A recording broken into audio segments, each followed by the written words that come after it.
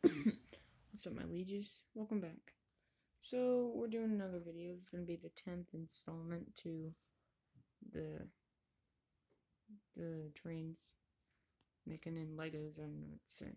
Uh, this 10th one, we're going to do diesel. It's going to be the first diesel that we do. So, let's get started. So, we're going to need the three 2x2s and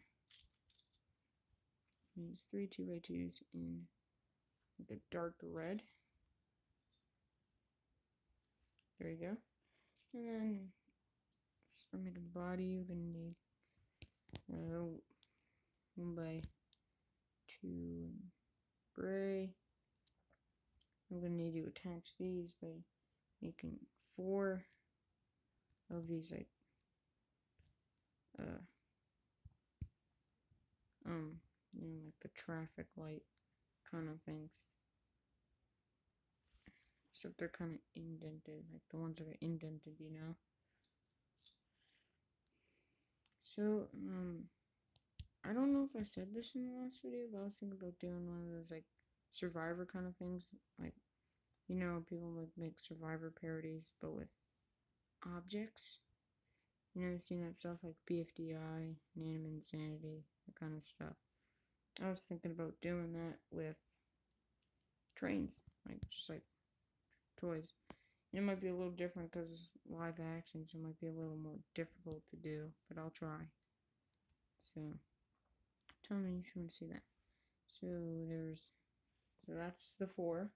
We need to put this other one in here because next we're gonna need a two by two in black, probably just to connect them.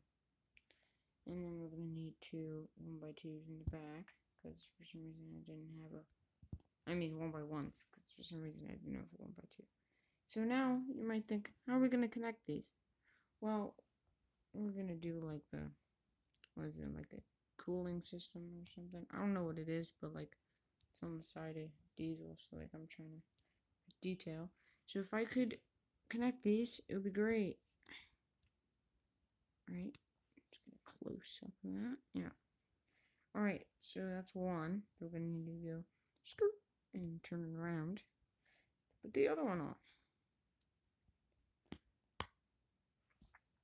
Okay, cool. So now, the final finishing touches.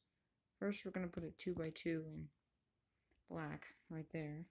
So now, to for the finishing touches because you know diesel is like a black top so we're gonna put a 2x4 boop, on top like that. And we're gonna put a 2x2 with a hole in the middle on top because I originally had a gray roof but now it's black because like I looked back at the design. Alright so this is the finished product so I've already done 10 of these, so now that means because I've done 10, I'm gonna start doing FNAF now. I'm probably gonna do like a FNAF one every five, maybe sooner. I don't know. Yeah. So that's, that's all, folks. Alright, well, see you guys later.